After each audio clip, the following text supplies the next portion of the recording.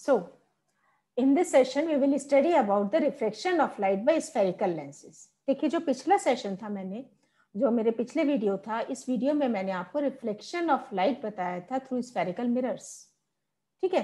तो spherical mirror क्या है? It is nothing it is a it follows the law of reflection of light law of reflection of light को follow करता है। तो mirror और लेंस में बेसिक डिफरेंस क्या है?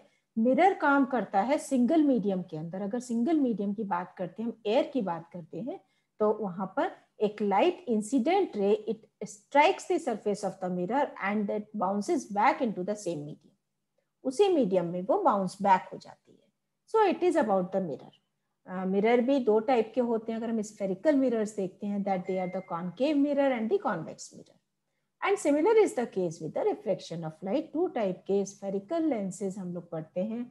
In case of reflection of light यहाँ पर दो या दो से ज़्यादा मीडियम यूटिलाइज होते हैं यूज़ होते हैं फॉर द रिफ्लेक्शन ठीक है तो नॉर्मली स्फेरिकल लेंस होता क्या है? It is a transparent glass bound by two spherical surfaces ठीक है मिरर में सिंगल स्फेरिकल सरफेस थी, क्योंकि सिंगल मीडियम इन्वॉल्व था। लेकिन लेंस के केस में क्या होता है? यहाँ पर टू स्फेरिकल सर्फेसिस होती हैं. It is a transparent glass which is bound by two spherical surfaces two type के लेंसेज होते हैं. That is the convex lens and the concave lens. Convex lens, it is thicker, thicker in, at the center and thinner at the edges. Edges पर ये thinner होता है centre पर ये thick होता है बल्ज करता है आउटवर्ड्स मतलब कि बाहर की तरफ़ इस तरीके से ये कर्व होता है।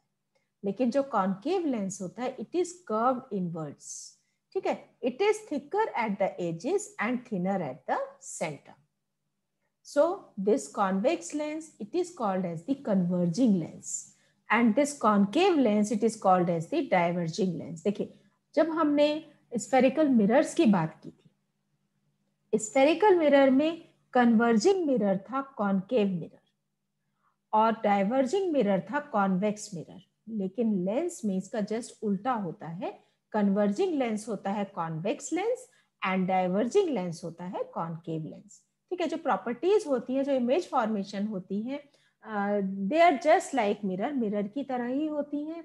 कॉन्वेक्स मिरर लेंस बिहेव करता है एज कॉन्केव मिरर और कॉन्केव लेंस की जो इमेजेस बनती हैं, वो बिल्कुल वैसे ही बनती हैं जैसे कि कॉन्वेक्स मिरर में बनती थी। ठीक, अब देखिए यहाँ पर अगर हम जब रूल्स की बात करते हैं तो एक रूल हमने मिरर्स में स्टडी किया था कि when the light rays they come parallel to the principal axis then they meet at the focus focus पर मीट करती हैं तो रियल एंड इन्वर्टेड इमेज बनती है, और लेकिन अगर light rays parallel to principal axis चलती हैं, और अगर वो हमें अपियर होती हैं कि वो फोकस पर मीट कर रही हैं then virtual and erect image बनती है। तो यहाँ पर जो कॉन्वेक्स कॉन्वेक्स लेंस है इट बिहेव्स लाइक बिल्कुल वैसे ही बिहेव कर रहा है, जैसे कि कॉन्केव मिरर करता था और convex concave lens just like behave करता है, जैसे कि कॉन्वेक्स मिरर बिहेव करता था राइट नाउ अब हम यहाँ पर मैं आप लोगों को बताऊँगी कि किस तरीके से क्या क्या इसके जो इम्पोर्टेंट कंपोनेंट्स हैं मिल लेंस के किस तरीके से लेंस बिहेव करता है या क्या रूल्स हैं for formation of the images देखो लेंस चाहे वो कॉन्वेक्स हो या कॉन्केव हो, उसकी दो स्फेरिकल सरफेसेस होती है which is a part of a sphere जो कि स्फेयर का पार्ट है। ठीक सेंटर ऑफ़ द स्फेयर देखिए, अगर हम यहाँ की बात करते हैं, इसकी बात करते हैं हम, या मैं यहाँ ले आती हूँ आप लोगों को इस जगह की। देखो, यहाँ पर अगर हम बात करते हैं, अगर हम यहाँ पर कॉन्केव लेंस की बात करते हैं तो कॉन्केव लेंस में ये दो सर्कल्स दो सर्कल्स हमने इस तरीके से ड्रॉ अगर हम करते हैं तो ड्रॉ करने के बाद में इन दोनों को मिलाने के बाद में जो स्फेरिकल सरफेसेस बनती हैं दिस इज़ कॉन्केव लेंस वहीं पर अगर हमें कॉन्वेक्स लेंस बनाना है तो हमने दो सर्कल्स को इस तरीके से एक दूसरे के ऊपर ओवरलैप कर दिया, जो ये बीच का पोर्शन है this is known as the convex lens अब देखिए दोनों ही जगह पर दो सर्कल है क्योंकि दो स्फेरिकल सरफेसेस हैं तो इसका मतलब क्या हुआ? दो सेंटर ऑफ़ कर्वेचर होंगे। दोनों ही केसेस में सेंटर ऑफ़ कर्वेचर कितने होंगे? दो सेंटर ऑफ़ कर्वेचर होंगे, चाहे वो कॉन्केव लेंस हो या कॉन्वेक्स लेंस हो। अगर दो सेंटर ऑफ़ कर्वेचर होंगे तो नेचुरल सी बात है, दो फोकस होंगे। कॉन्वेक्स लेंस में और कॉन्केव लेंस में दोनों में ही फोकस भी कितने हो जाएँगे? दो फोकस हो जाएँगे। प्रिंसिपल एक्सिस वो होता है जो कि इस ऑप्टिकल सेंटर से, ऑप्टिकल सेंटर से पास करता हुआ जाता है। Optical centre is that point which is in the which is present in the middle of the lens अगर हम एक लाइन इस तरीके से लेंस को बाइसेक्ट करते हुए बनाए और वो प्रिंसिपल एक्सिस को जिस जगह पर काटती है then that point it is known as the optical centre इसी तरीके से अगर हम साइन uh, की भी बात करते हैं या कुछ थोड़े से मैं रूल्स यहाँ पर बता देती हूँ आपको। तो नॉर्मली क्या होता है कि लाइट रे एंटर करती है from each of the lens दोनों ही लेंसेज के केस में लाइट रे एंटर करती है लेफ़्ट साइड से। चाहे वो कॉन्वेक्स लेंस हो या कॉन्केव लेंस हो। कॉन्वेक्स लेंस में जो इमेज फॉर्मेशन होता है वो होता है दूसरी तरफ़ राइट हैंड साइड में। तो इसीलिए लेंस को, चाहे वो कॉन्वेक्स लेंस हो या कॉन्वेक्स मिरर हो, दोनों को ही पॉजिटिव कहा जाता है। पॉजिटिव लेंस कहा जाता है इसे। लेकिन अगर हम कॉन्केव लेंस की बात करते हैं तो कॉन्केव लेंस में जो इमेज फॉर्मेशन होता है it is on the left hand side तो इसीलिए कॉन्केव लेंस और कॉन्केव मिरर को, दोनों को ही नेगेटिव मिरर और नेगेटिव लेंस कहा जाता है। अगर हम डिस्टेंस मेजर करते हैं on the left hand side तो डिस्टेंस किसका हो गया? डिस्टेंस हो गया ऑब्जेक्ट का, क्योंकि लाइट एंटर कर रही है from the object towards the lens तो इट इज़ ऑलवेज नेगेटिव लेकिन अगर हम डिस्टेंस मेजर करते हैं on the right hand side जो जहाँ पर इमेज बनती है it is always positive principal axis से अगर हाइट अबव है ऑब्जेक्ट की हाइट है या इमेज की हाइट है तो पॉजिटिव हो जाएगा. लेकिन इमेज अगर नीचे बनती है प्रिंसिपल एक्सिस के then it will be negative ठीक है? तो ये हो गया हमारा आ, कुछ साइन कन्वेंशन जो मैंने अभी थोड़े से डिस्कस किए हैं बाकी के मैं आपको आ, बाद में डिस्कस करूँगी। यहाँ पर अगर हम पॉइंट्स की बात करते हैं कंपोनेंट्स की बात करते हैं so this is the principal axis object distance from the this this line इस लाइन से जो ऑब्जेक्ट डिस्टेंस है it is known as the measure करेंगे इसको हम यू uh, से।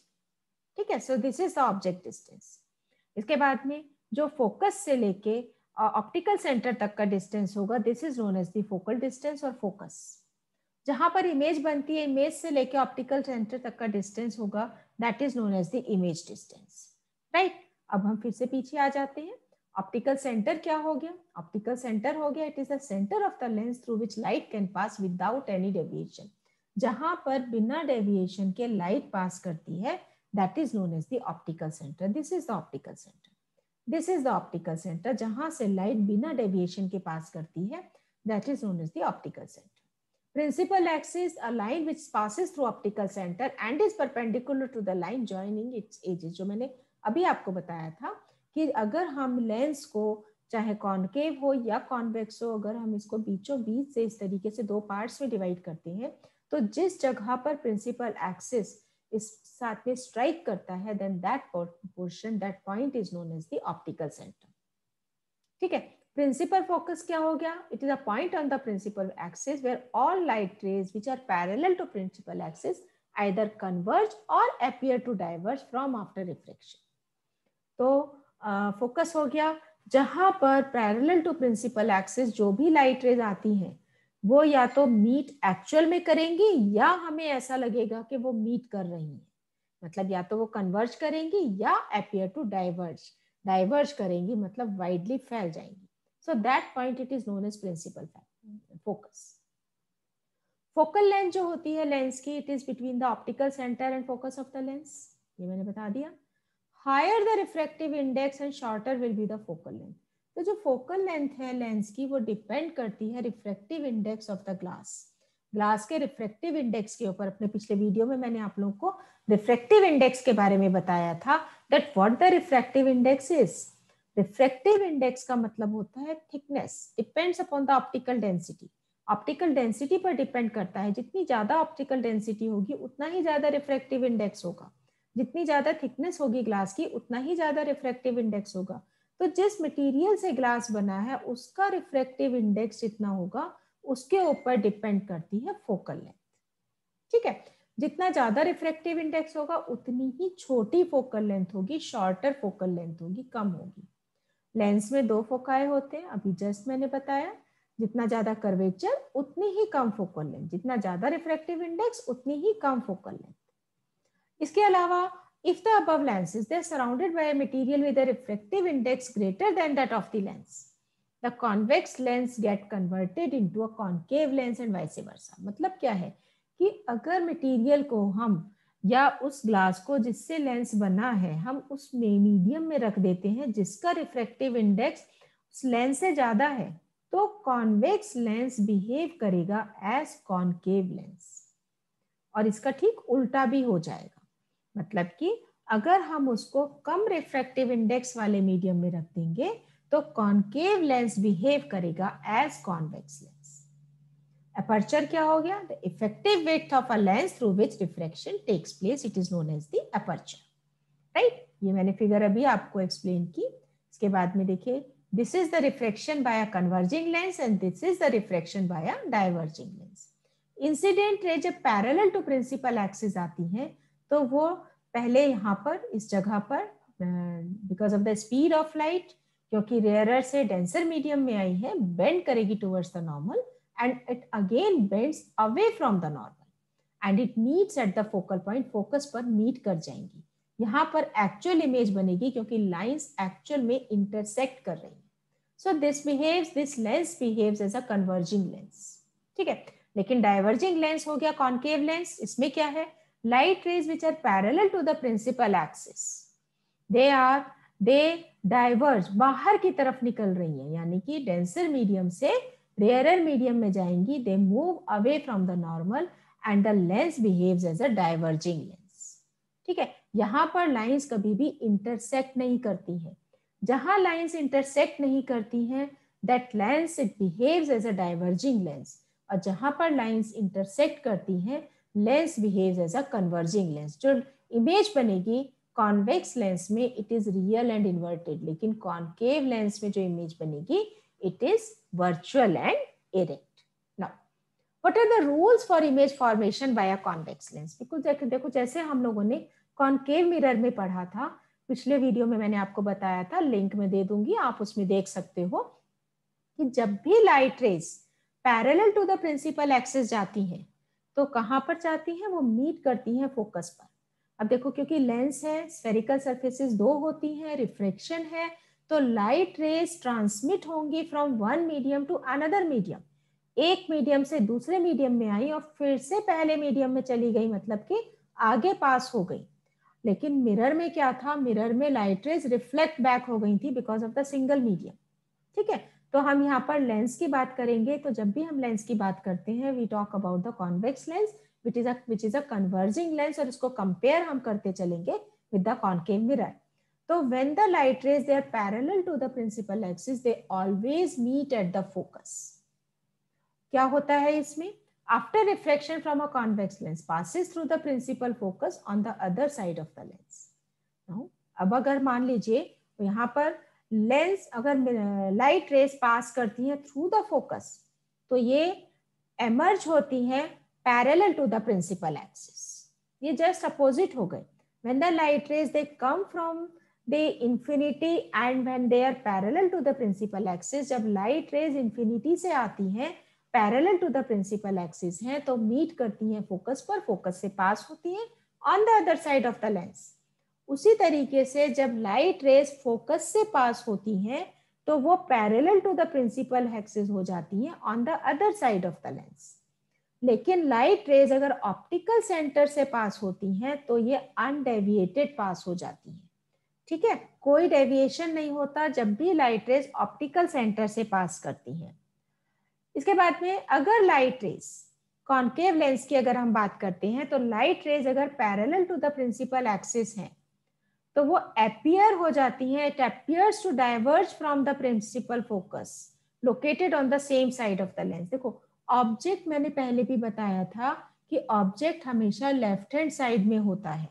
चाहे वो कॉन्केव लेंस हो या कॉन्वेक्स लेंस हो मिरर हो या लेंस हो object is always on the left hand side convex में जब भी इमेजेस बनती हैं, चाहे वो कॉन्वेक्स मिरर हो या कॉन्वेक्स लेंस हो हमेशा राइट हैंड साइड में बनती हैं। लेकिन अगर कॉन्केव मिरर या कॉन्केव लेंस की हम बात करते हैं तो इमेज कहाँ बनती है? इमेज बनती है on the left hand side दोनों ही केसेस में इमेज बनेगी on the left hand side तो इस केस में भी क्या है? जब लाइट रेस पैरेलल जाती हैं टू द प्रिंसिपल एक्सिस और उसके बाद में डाइवर्ज हो जाती हैं, बाहर की तरफ़ निकलती हैं और अगर हम इस लाइट रे को आगे एक्सटेंड कर दें तो it appears to meet at the focus मतलब क्या है?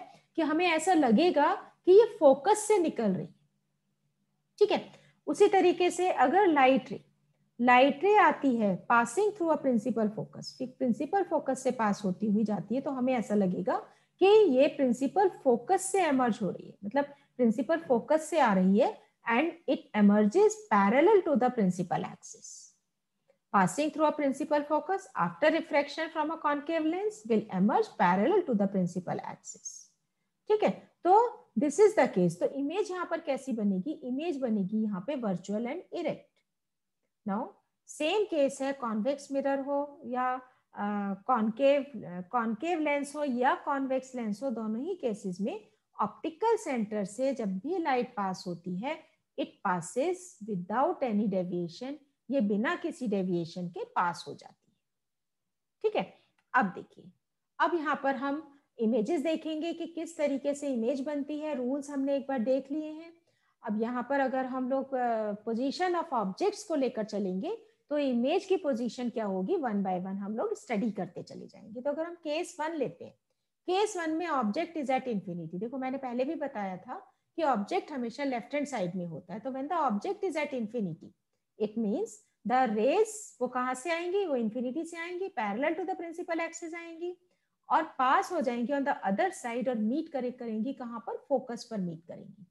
तो पोजीशन इमेज की कहाँ पर हो जाएगी? फोकस पर हो जाएगी। रूल नंबर वन इमेज कैसी बनेगी? रियल एंड इन्वर्टेड क्योंकि यहाँ पर एक्चुअल में रेस इंटरसेक्ट कर रही है एक दूसरे को, और जहाँ पर भी रेस का एक्चुअल इंटरसेक्ट इंटरसेक्शन होता है रेस एक्चुअल में मीट करती हैं तो इमेज बनती है real and inverted highly diminished image बनेगी, बिल्कुल पॉइंट साइज़ की बनेगी। सिंपल सा अगर आप एक डॉट लगा देते हो पेन से, उतने साइज़ की इमेज बनेगी।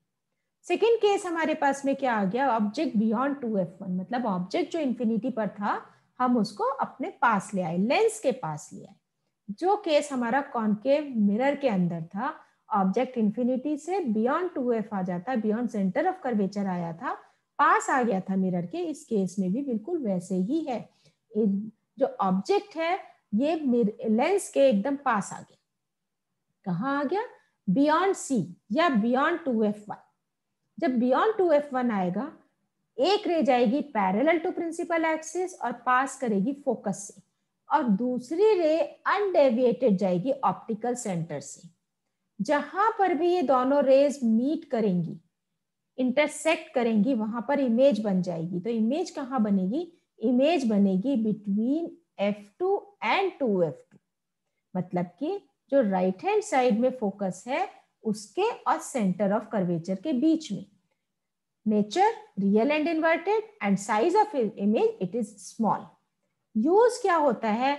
इस टाइप के लेंस जहाँ पर ऑब्जेक्ट आता है बियॉन्ड टू एफ़ वन तो होते हैं camera and eye while reading अगर हम दूर का पढ़ते हैं तो हमारे जो लेंसेज यूज़ होते हैं, वो यूज़ होते हैं कॉन्वेक्स लेंस ठीक है? अच्छा अब उसके बाद में, उसके बाद में आ जाता है object at two F one मतलब कि ऑब्जेक्ट और पास आ गया लेंस की। जब ऑब्जेक्ट और पास आ गया लेंस की, अब देखिए जो कॉन्केव मिरर का केस था, उसमें object at centre of curvature था। यहाँ पर भी ऑब्जेक्ट सेंटर ऑफ़ कर्वेचर पर है, जिसे हमने टू एफ़ वन का नाम दिया। तो इमेज की पोजीशन क्या बनेगी? वही सेम टू एफ़ टू बन जाएगी। मतलब जहाँ पर ऑब्जेक्ट है उसके जस्ट अपोजिट सेम डिस्टेंस पर इमेज बनेगी। नेचर क्या हो जाएगा? रियल एंड इन्वर्टेड और साइज़ क्या हो जाएगा? सेम साइज़ ऑफ़ ऑब्जेक्ट जैसे मिरर में था।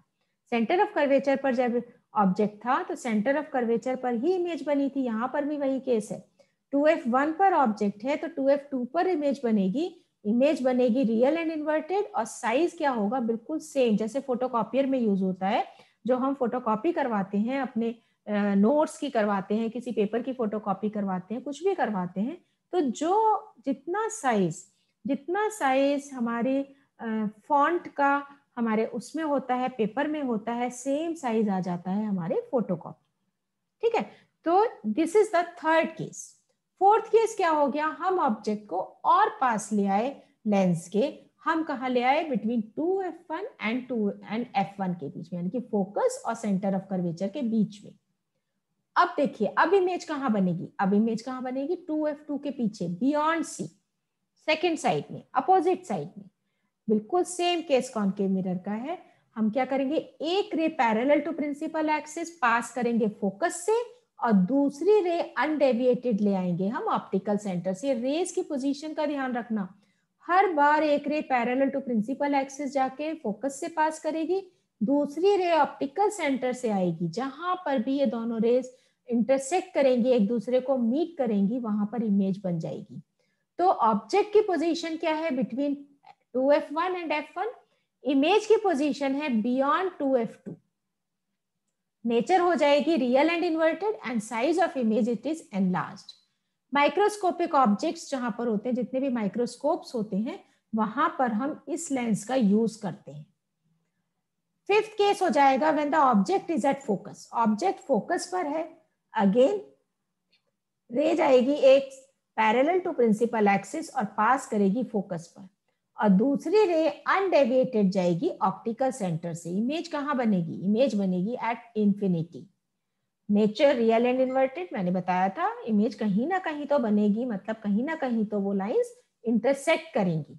और size of image it is highly enlarge spotlights में जो जनरली हम लोग, जो पुलिस यूज़ करती है या जनरली जो फेस्टिवल के टाइम पे यूज़ होती है, उन सब में ये लेंस यूज़ होता है।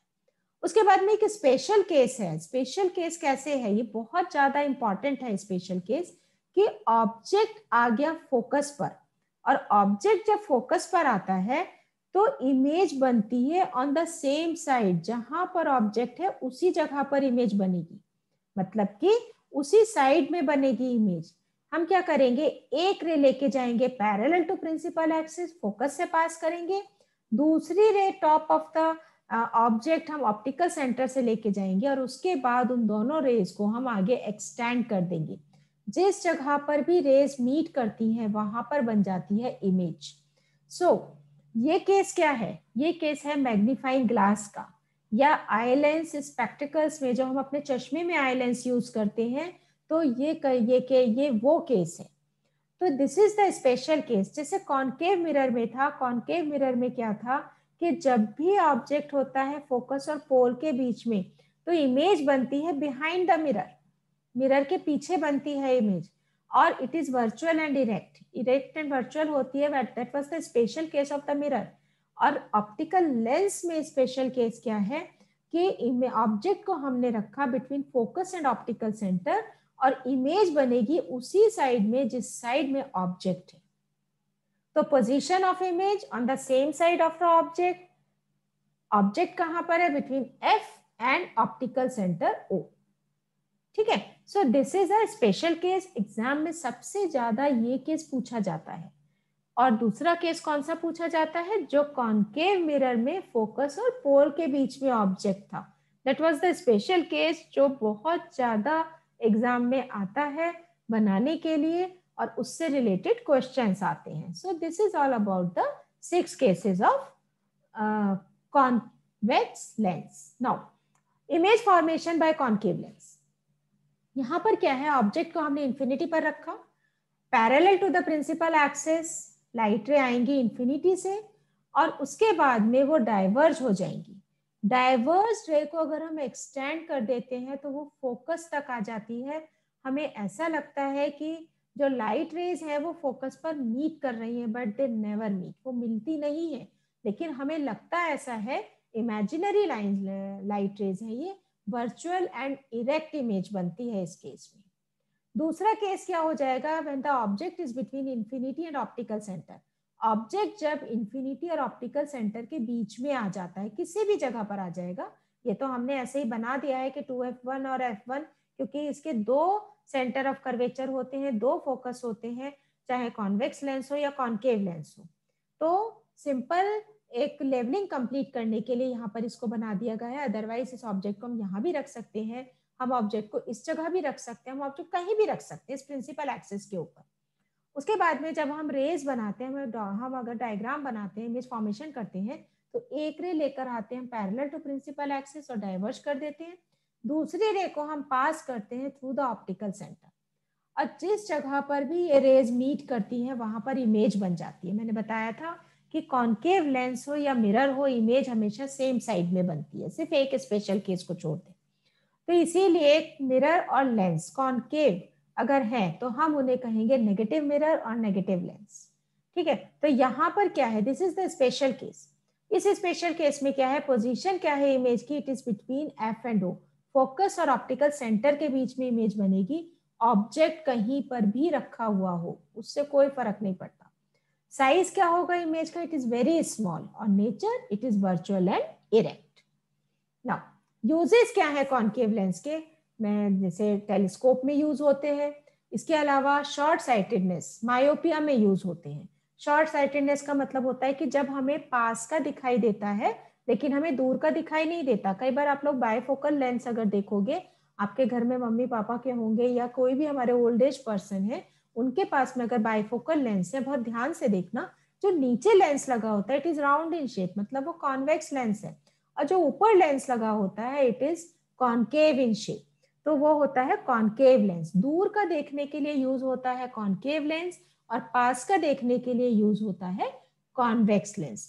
दूसरा जो यूज़ है कॉन्केव लेंस का जो साइफोल होते हैं डोर्स में, कई बार जो फ्लैट्स वगैरह होते हैं या घरों में भी हम डोर में एक मैजिक आई बना बोलते हैं, हम उसको मैजिक आई लगा देते हैं, जिससे अगर हम बाहर देखें तो जो छोटा सा, उस छोटे से लेंस में जो भी आदमी या जो भी पर्सन बाहर खड़ा है, वो हमें पूरा का पूरा दिखाई देता है because of its diverging nature so this is the use of concave lens अब अगर हम एक टेबल बना देते हैं तो टेबल से कॉन्केव लेंस की हम पोजीशन और ऑब्जेक्ट की पोजीशन को इजीली स्टडी कर सकते हैं। तो पोजीशन ऑफ़ ऑब्जेक्ट अगर इन्फिनिटी है तो पोजीशन ऑफ़ इमेज क्या बन जाएगी? फोकस पर।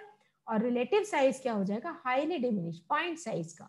Nature of image it is virtual and direct अगर ऑब्जेक्ट है between infinity and optical centre principal axis पे कहीं पर भी रखा हुआ है, लेकिन इमेज कहाँ बनेगी? It is between F one and optical centre diminished image बनेगी स्मॉलर देन द ऑब्जेक्ट बनेगी, और बनेगी वर्चुअल एंड इरेक्ट ठीक है? तो कॉन्केव लेंस हमेशा वर्चुअल एंड इरेक्ट इमेज देता है डिमिनिश देता है स्मॉलर देन द ऑब्जेक्ट देता है, irrespective of the position of the object.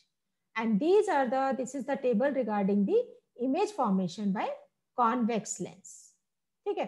Infinity पर है अगर ऑब्जेक्ट तो इमेज कहाँ बनेगी? Focus F two highly diminished होगी रियल एंड इन्वर्टेड होगी. उसके बाद बियॉन्ड टू एफ़ वन है, जैसे जैसे ऑब्जेक्ट पास आता चला जाएगा लेंस के इमेज लेंस से दूर होती चली जाएगी. जैसे जैसे ऑब्जेक्ट लेंस के पास आएगा इमेज का साइज़ बढ़ता चला जाएगा. पहले अगर इंफिनिटी से आती है रेस तो इमेज का साइज़ था बहुत छोटा हाईली डिमिनिश्ड फिर ऑब्जेक्ट हमारा और पास आ गया लेंस के between beyond two F one आ गया इमेज का साइज़ थोड़ा सा बढ़ गया. ऑब्जेक्ट और पास आया सेंटर ऑफ़ कर्वेचर पर आ गया तो इमेज का साइज़ सेम साइज़ का हो गया.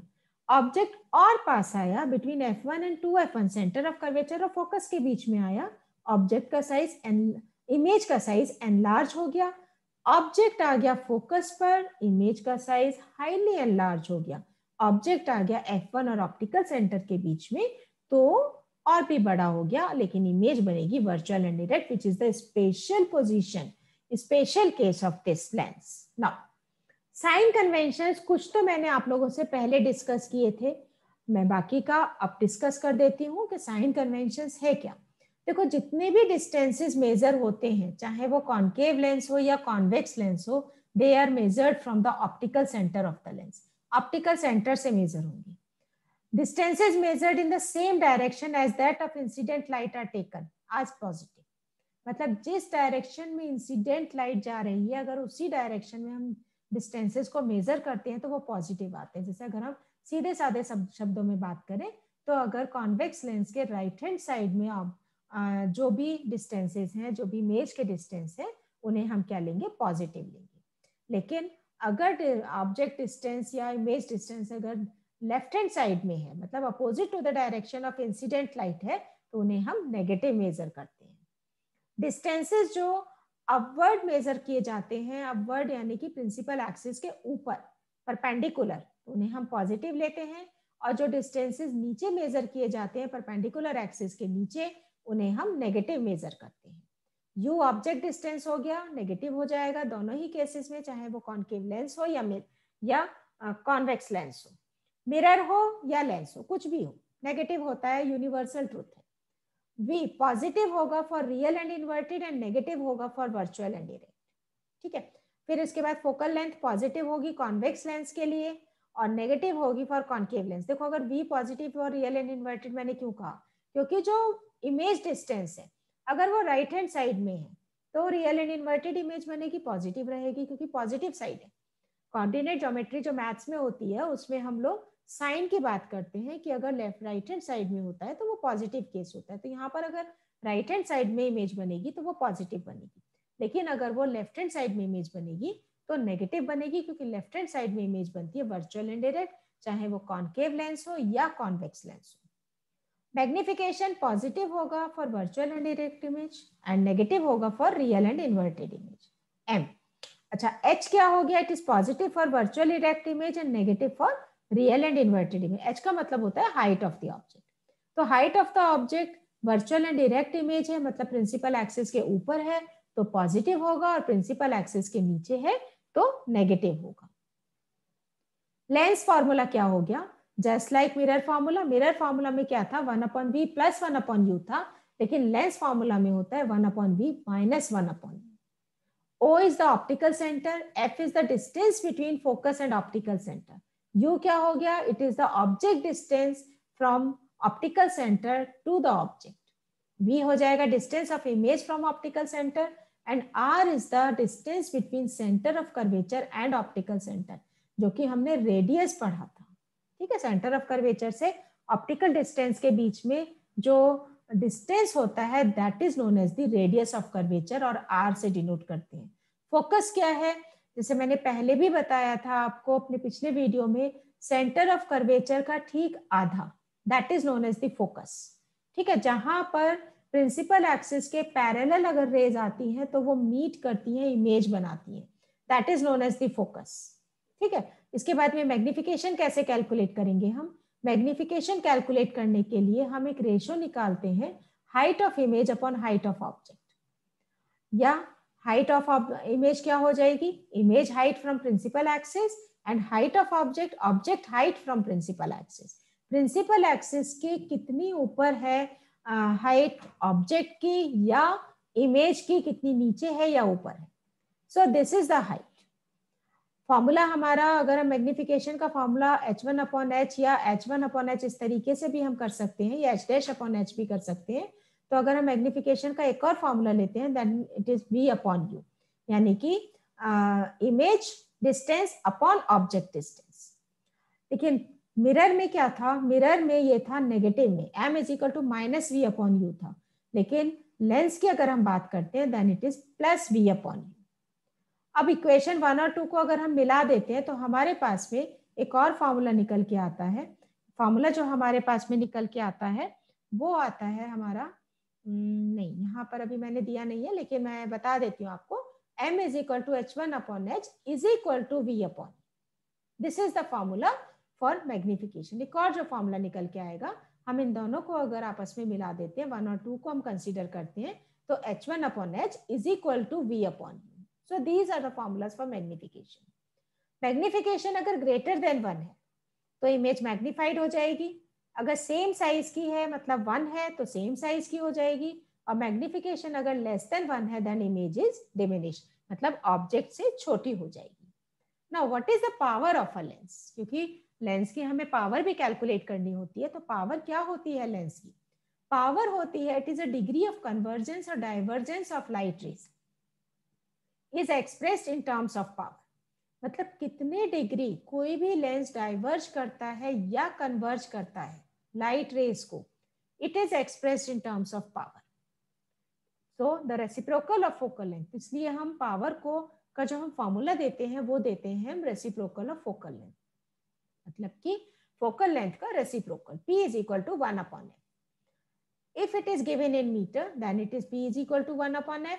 but if it is given in centimeter तो एक मीटर में 100 सेंटीमीटर होते हैं तो इसको हम ले लेंगे 100 अपॉन एफ़ जो यूनिट होती है पावर की it is diopter which is denoted by capital D तो अगर हम वन डायोप्टर की डेफिनेशन uh, देखते हैं यूनिट की डेफिनेशन देखते हैं then it is the power of a lens whose focal length is one metre अगर हम फोकल लेंथ वन मीटर है तो वन डायोप्टर क्या हो जाएगा? It is the power of a lens whose focal length is one metre formula से हम unit की डेफिनेशन को निकाल सकते हैं। हम लिखेंगे कैसे? One diopter is equal to one upon one metre और one diopter is equal to one M जिसकी पावर है माइनस वन फोकल लेंथ देखिए यहाँ पर यहाँ पर फोकल लेंथ पॉजिटिव है। तो फोकल लेंथ पॉजिटिव क्या है? क्योंकि राइट हैंड साइड में है। लेफ़्ट हैंड साइड में फोकल लेंथ है देन इट इज़ नेगेटिव ठीक है? तो अगर कोई ऑप्टिकल इंस्ट्रूमेंट है जिसके बहुत सारे लेंसेज हैं जिसमें लगे हुए तो नेट पावर क्या हो जाएगी? नेट पावर हो जाएगा, हो जाएगी उनका समेशन समेशन का मतलब हो गया कि हम सबकी पावर को ऐड कर देंगे और उसके बाद जो इक्विवेलेंट पावर निकल के आएगी that will be the power of a lens which has many number of lenses ठीक है? तो lens system consisting of several lenses in context they are used in designing the optical instruments जैसे camera, microscope, telescopes वगैरह में uses होते हैं। Normally क्या होता है, अगर हम सिंगल लेंस लेते हैं तो इमेज की शार्पनेस नहीं आती उतनी, लेकिन अगर हम बहुत सारे लेंसेज को यूज़ करते हैं तो इमेज ज़्यादा शार्प हो जाती है। इसके अलावा it is free from many defects which otherwise occur while using a single lens और बहुत सारे डिफेक्ट्स खत्म हो जाते हैं, इससे अगर हम सिंगल लेंस यूज़ करेंगे तो मे भी कोई डिफेक्ट आ जाए इमेज ब्लड हो जाए या इमेज ठीक से ना बढ़े इंटेंसिटी कम हो जाए, लेकिन अगर कॉम्बिनेशन ऑफ़ लेंसेज लेते हैं तो इमेज बहुत ज़्यादा शार्प बनती है। तो लेटेस्ट रिकॉल हम एक बार रिकॉल कर लेते हैं कि इस हमने सेशन में हमने क्या स्टडी किया, हमने स्टडी किया about the image formation by the lenses lenses में कितने टाइप के थे? They are of two types that is the concave lens and the convex lens concave lens and convex lens दोनों में क्या डिफरेंस है कि convex lens it behaves as a converging lens इसे हम फ़िश आई मिरर भी कहते हैं फ़िश आई लेंस भी कहते हैं। ठीक है फ़िश आई लेंस हम कहते हैं क्योंकि जो फिशेस की आईज होती है, वो just like they are convex lens convex lens की तरह से होती है। हमारी आईज में, हमारी खुद की आईज में भी कॉन्वेक्स लेंस ही लगा होता है कन्वर्जिंग लेंस नहीं। और जो कॉन्केव लेंस है it is a diverging lens diverging lens है। तो इसलिए कॉन्केव लेंस और कॉन्वेक्स लेंस दोनों ही प्रॉपर्टीज़ में इमेज फॉर्मेशन में convex lens it is nearly बिल्कुल वैसी ही इमेजेस बनती हैं, जैसे बनती हैं कॉन्केव मिरर में। लेकिन डिफरेंस क्या है? Concave mirror it is a reflecting mirror जो कि सिंगल मीडियम में काम करता है, लेकिन convex lens it is a reflecting mirror reflecting mirror का मतलब जो ये इमेज को डिस जो कि डिस्पर्स करता है लाइट रेज को, और इसमें मीडियम दो या दो से ज़्यादा हो सकते हैं। मेनली दो मीडियम होते हैं, दो से तो इसमें कॉन्वेक्स लेंस यूज़ होता है। Concave lens you just behave करता है, कॉन्वेक्स मिरर की तरह, कॉन्वेक्स मिरर डाइवर्जिंग होता है, उसी तरह से कॉन्केव लेंस भी डाइवर्जिंग होता है। इमेज फॉर्मेशन हमने पढ़े थे इसके अभी। इसके अलावा power of a lens power of a lens क्या it is a reciprocal of the focal length focal length का ठीक रेसिप्रोकल होता है power of the lens sign convention more और लेस मिरर में और लेंसेज में सेम होते हैं। बहुत थोड़ा सा डिफरेंस होता है। डिफरेंस क्या है? कि जो भी, जब भी इमेज बनती है कॉन्वेक्स लेंस में, वो हमेशा पॉजिटिव साइड में बनती है। तो वी यहाँ पर क्या रहेगा? पॉजिटिव रहेगा। ठीक है? लेकिन अगर हम मिरर की बात करते हैं तो इमेज बनती है कॉन्केव मिरर में on the left hand side तो इसका मतलब क्या है कि जब भी इमेज लेफ़्ट हैंड साइड में बनेगी वी हमेशा नेगेटिव हो जाएगा। और अगर इमेज बनेगी राइट हैंड साइड में तो वी हो जाएगा पॉजिटिव ठीक है? So this is all about the image formation by the refracting lenses, that is the convex lens and the concave lens. पिछले वीडियोस जितने भी हैं, उनके लिंक्स मैं इस वीडियो में डिस्क्रिप्शन बॉक्स में आपको शेयर कर दूँगी। आप लोग उनको एक बार देख लीजिएगा। देखने के बाद में आपको चैप्टर ही अच्छी तरह से समझ में आ जाएगा।